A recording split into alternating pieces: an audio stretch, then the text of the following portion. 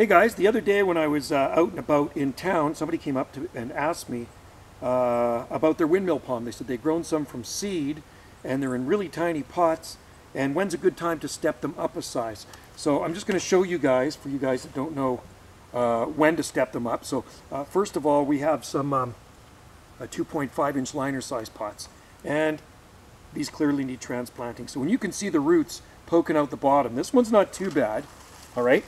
It's a 2.5 inch liner size pot, Trachycarpus, there's actually two of them in there. And uh, you can see the roots coming out the bottom. This one here more so. I mean, I could leave that one in there a little bit longer, but you know what?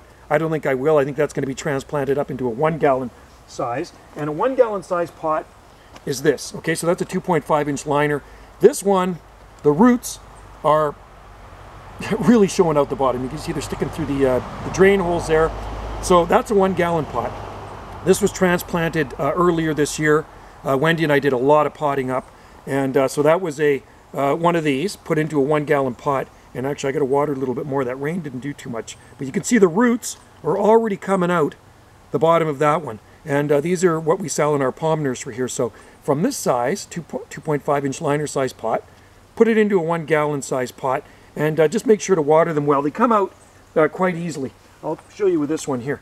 I mean, they're just going to slide out like that. Try not to break the roots off too too much. If you got uh, secateurs, you can always cut the bottom of the pot off to get all the roots, but they'll come out easily and uh, use a good potting mix.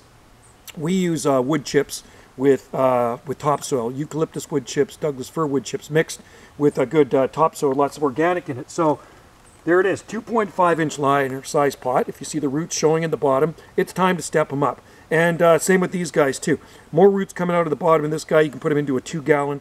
This guy's good to go. We actually sell the one gallons like that. So if you want to buy one gallon, this one will be ready to go uh, next year, but not this year because we just uh, potted it up.